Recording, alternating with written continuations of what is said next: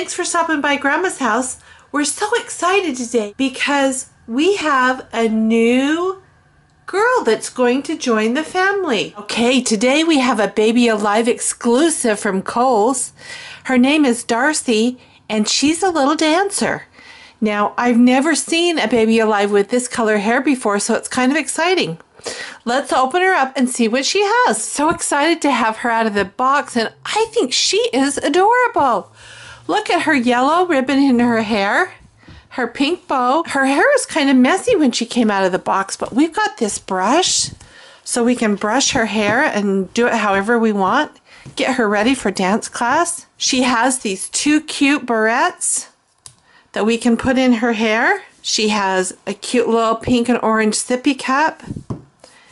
And I love her dance bag. This isn't a diaper bag. This is a dance bag that she uses when she gets ready to go to a dance class. Any dancer knows you need to bring something to drink. And it's fun to have things for your hair, to have it out of your hair when you're dancing. When you're done, you want to have a brush to be able to fix your hair. Now, we also have two diapers I'm trying to think, how old do you think Darci is? She goes to dance class. She's got a cute little adorable tutu on. You see her tutu? She's got the two little hearts with a rainbow heart. She has teeth. And she wears a cute little bracelet. But how old do you think she is? Super long hair. It goes clear down to the back of her knee.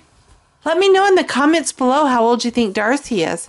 And what type of dance do you think is her favorite? I think she's just adorable and we're going to have so much fun having her as part of our family. Well, thanks for stopping by. I hope you enjoyed helping me unpack Darci. And you'll get to see her with her sisters in upcoming episodes. Let me know if you think we should change her name. I think Darci's pretty cute, but if you have a better name for her, let me know. Well, thanks for stopping by Grandma's house. We're glad you're here, and hopefully you stop back by tomorrow. See you later.